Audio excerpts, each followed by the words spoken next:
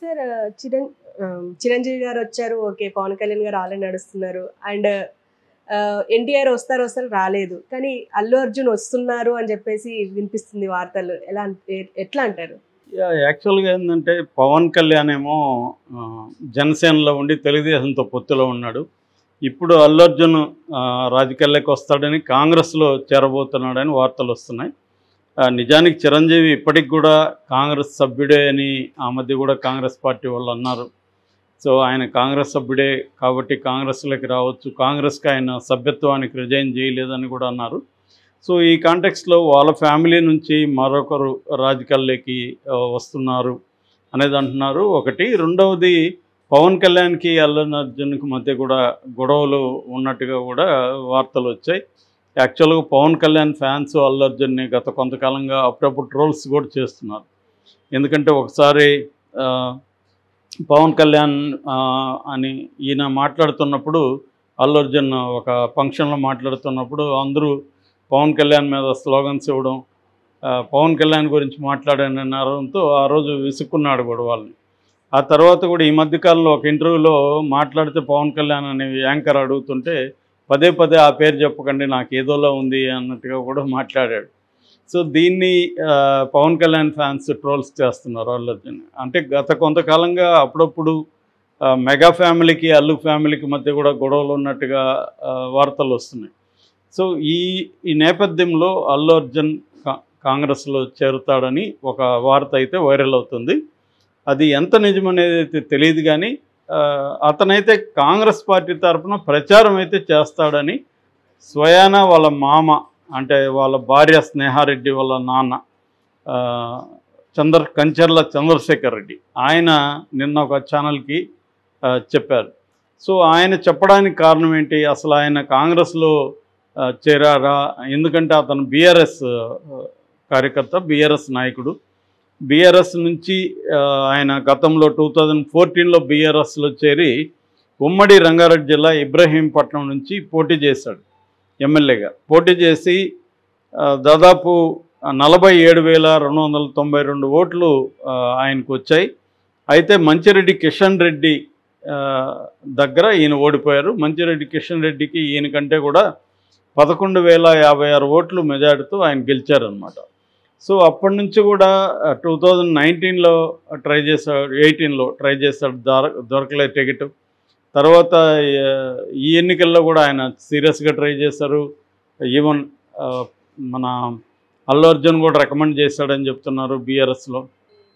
కానీ ఆయనకి చివరి వరకు టికెట్ దొరకలేదు. ఇప్పుడు ఎంపీగా కూడా ట్రై చేశాడని చెప్తున్నారు. కానీ ఆయనకి ఇవ్వనని చెప్పేశారు. అందుకని ఆయన ఇప్పుడు కాంగ్రెస్లోకి వెళ్తున్నట్టుగా చెప్తున్నారు. నిన్న మొన్న అసెంబ్లీలో రేవంత్ రెడ్డిని కలిశారు కలిశాడు. దాని తర్వాత ఢిల్లీలో దిగ్విజయ్ సింగ్ను కూడా ఆయన కలిశాడు.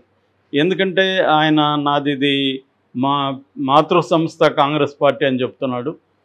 ఒకప్పుడు యూత్ కాంగ్రెస్లో నేను పనిచేశాను. ఆ తర్వాత బీఆర్ఎస్లో చేరానని చెప్తున్నాడు. ఇప్పుడు ఆయన కాంగ్రెస్లో చేరాడు చేరుతున్నాను. నేను నాకు హైదరాబాద్లో ప్రతి సందు తెలుసు. మల్కాజిగిరి కానీ ఇంకెక్కడైనా హైదరాబాద్లో ఎక్కడిచ్చినా కూడా నేను పోటీ చేస్తాను ఎంపీగా అని చెప్తున్నాడు. నాకు కానీ టికెట్ ఇస్తే అల్లు అర్జున్ వచ్చి ప్రచారం చేస్తాడు అని ఆయన చెప్పాడు.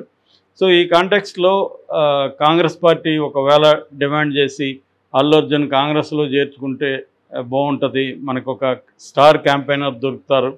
అని కానీ అనుకొని వీళ్ళు ప్రపోజల్ పెడితే వీళ్ళ మామ కోసమైనా అతను చేరే అవకాశం ఉందని చెప్తున్నారు. సో ఎందుకంటే స్నేహారెడ్డి కూడా చాలా యాక్టివ్గా ఉంటారు సోషల్ మీడియాలో కూడా. సో ఆమె కూడా ప్రచారం చేసే అవకాశం ఉంది. సో ఇప్పుడు వాళ్ళ కూతురు అల్లు అర్హ కూడా నటి అయిపోయింది. ఈవెన్ దేవరల్ల కూడా ఆమె చేస్తుంది ఆ అమ్మాయి. సో ఇలాగా అది కూడా అన్నాడు. నా కుటుంబం అంతా కూడా అల్లు అర్జున్ కుటుంబం కూడా వచ్చి నాకు చేస్తుంది అన్నాడు.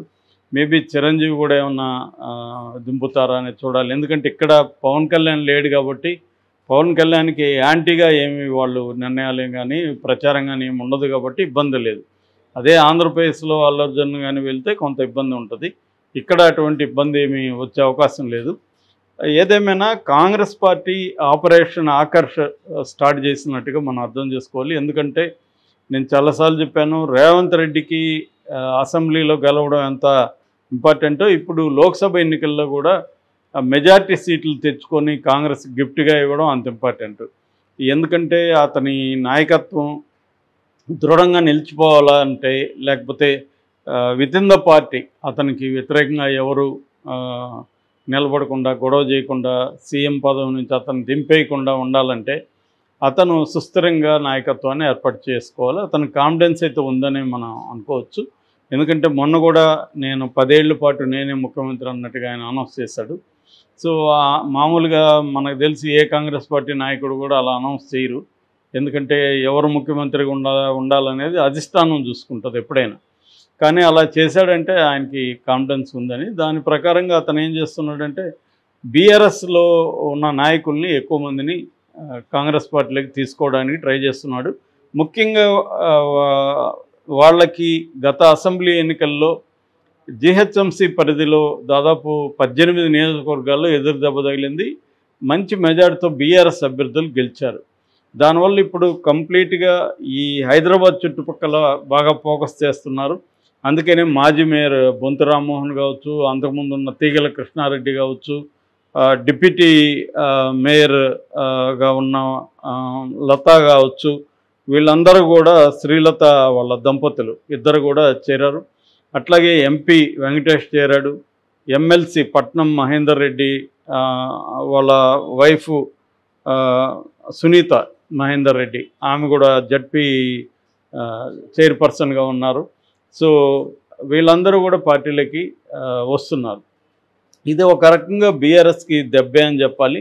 ఎందుకంటే వాళ్ళకి బలంగా ఉండేది హైదరాబాద్ చుట్టుపక్కలే. దీన్నే ఇప్పుడు కొడుతున్నాడు. కొమ్మ అదే కొడితే కుంభస్థలం కొట్టాలన్నట్టుగా ఏది బలమో దాని మీదే ఫోకస్ చేస్తున్నాడు. దాన్ని దెబ్బ కొట్టగలిగితే వాళ్ళు ముఖ్యంగా మొరేలు కూడా దెబ్బతింటుంది. హైదరాబాద్ చుట్టుపక్కలనే వాళ్ళ బలం ఉంది. లేకపోతే ముప్పై తొమ్మిది వాళ్ళకి వచ్చేది కాదు. ఏ ఇరవైకో వాళ్ళు పరిమితం అయి ఉండేవాళ్ళు. సో ఒక గౌరవనీయమైన సంఖ్య రావడానికి కారణం హైదరాబాద్ చుట్టుపక్కల. దీన్ని దెబ్బకొట్టడానికి ట్రై చేస్తున్నారు. దీనికి సంబంధించి తెలుగుదేశంతో కూడా మాట్లాడుతున్నట్టు తెలుస్తుంది. ఎందుకంటే తను తెలుగుదేశానికి అనుకూలంగా అక్కడికి వెళ్ళి షర్మిలతో కలిసి అక్కడ జగన్కి వ్యతిరేకంగా ప్రచారం చేయబోతున్నారు. దానికి పిడ్డిప్రోకోగా తెలుగుదేశం వాళ్ళు ఇక్కడ ముఖ్యంగా హైదరాబాద్ చుట్టుపక్కల గతంలో సీమాంధ్రులు ఇతనికి హ్యాండ్ ఇచ్చారు. ఇప్పుడు అప్పుడు ఏంటంటే వాళ్ళు ఏమనుకున్నారంటే బీఆర్ఎస్ఏ వస్తుందని నమ్మినట్టుగా ఉన్నారు. సో ఇప్పుడు వాళ్ళకి బీఆర్ఎస్ గురించి ఏమీ వరి కావాల్సిన అవసరం లేదు కాబట్టి కాంగ్రెస్ను గెలిపించమని ఇప్పుడు అడుగుతున్నారు. సో ఆ రకంగా ఖచ్చితంగా ఈసారి జిహెచ్ఎంసి చుట్టుపక్కల బీఆర్ఎస్కి దెబ్బ తగిలే అవకాశాలు అయితే క్లియర్గా కనిపిస్తున్నాయి. ఈవెన్ సర్వేలు కూడా కాంగ్రెస్కే ఎక్కువ సీట్లు వస్తాయనేది ప్రొజెక్ట్ చేస్తున్నారు. అందులో వాస్తవం అయితే కనబడుతుంది. ఎందుకంటే గతంలో బీఆర్ఎస్ అధికారంలోకి రావచ్చు వస్తే మళ్ళీ మనం ఇక్కడ ఓటు లేకపోతే ఇబ్బంది అని సీమాంధ్రులు ఫీల్ అయి ఉండొచ్చు. సో ఇప్పుడు వాళ్ళకి ఆ భయం కూడా అవసరం లేదు. కాబట్టి రేవంత్ రెడ్డి కూడా అనేక గ్రూప్స్ని కలుస్తున్నట్టుగా చెప్తున్నారు. అంటే వాళ్ళకున్న భయాల్ని తొలగించి మీకు మేము అండగా ఉంటాం మీకు ఏ రకమైన ఇబ్బంది రాదు. బీఆర్ఎస్ వాళ్ళకంటే కూడా మేము మీకు మంచిగా చేస్తాం కాబట్టి కానీ మీకు ఏ రకమైన టెన్షన్ ఉండాల్సిన లేదు. మీ రియల్ ఎస్టేట్ వ్యవహారాలు ఇవన్నీ కూడా మేము చూసుకుంటున్నాం ఉన్నారు.